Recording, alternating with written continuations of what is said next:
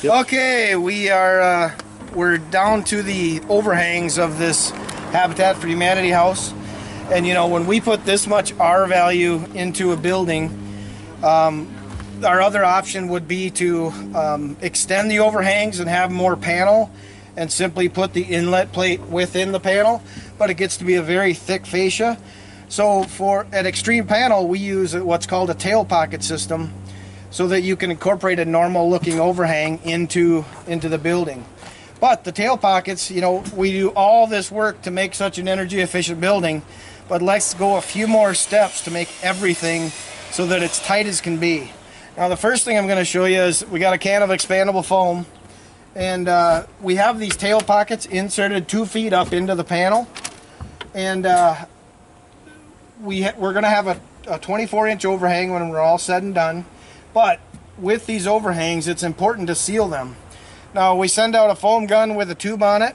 That tube will give some air to the mixture of the foam and it'll actually give you a better bead of foam. And we're simply going to take it and just put it in here and seal up around these little crevices with the tail pockets. Here's our electrical chase that's put in the panel. And basically from the edge of the panel we're over two feet that's where that chase is. Now is a great time just to put some foam in the end of that so you don't get air migrating up that joint. So I'm simply just going to take this fill it in there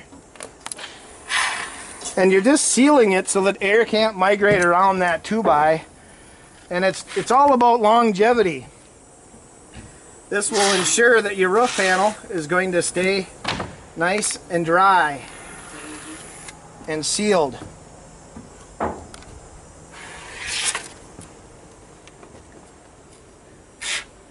Here's another chase. We're simply just going to foam up that end. I also want to point out, here's the box spline joint, the end of the panel. You can see that the milling of the panel is really, really good because everything seems really tight. You can see our, we teed off our ends of our caulk and, or the SIP seal, and it, it made a very nice joint there. But if you want to just inject some foam into there, making sure that you're getting everything sealed off. Because the issues with SIP panels, not that there is many, but that air could migrate up that joint. You have to stop that air right here so you can't get any up.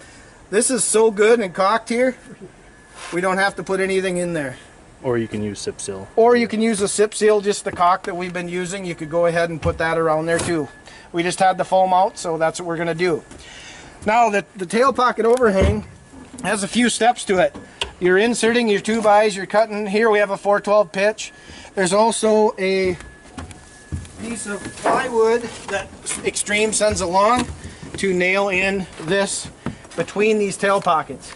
And it simply is about the overhang sheeting. It's connecting this sheet to this sheet and that's basically what we're doing. So we're going to continue on. Once we lay all of our tail pockets out, we'll put our sub fascia on and we will go ahead and re-roof it.